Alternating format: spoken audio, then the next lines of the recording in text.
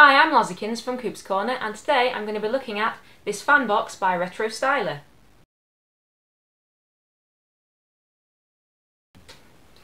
Okay then, let's have a look at what we've got. This is the t-shirt. This is a lady's PlayStation t-shirt by the looks of things.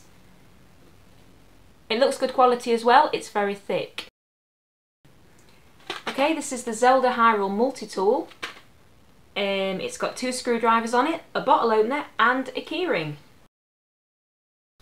Okay, now let's have a look at the Mario mushroom. I think there might be sweets inside it. Yeah, and there is. Little red toadstool sweets as well, really cute. Okay, these are the Pac-Man fridge magnets. Uh, there's 28 fridge magnets in total. Look pretty neat. Okay, and here we have the Pac-Man pixel bricks.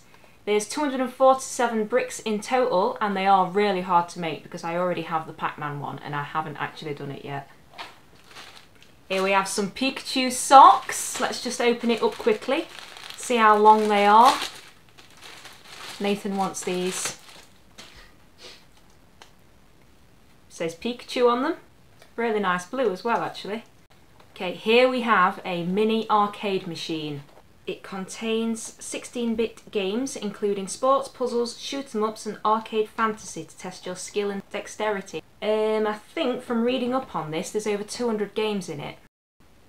Okay, and that was the Fanbox by Retro Styler. I have to say, everything in it was brilliant. Everything is really well made. If you've got any kids of your own or, or if you just want to buy it for yourself or, you know, know any gamers out there, I highly recommend them. Really, really good box. And this is the 49.99 box. There are other options available.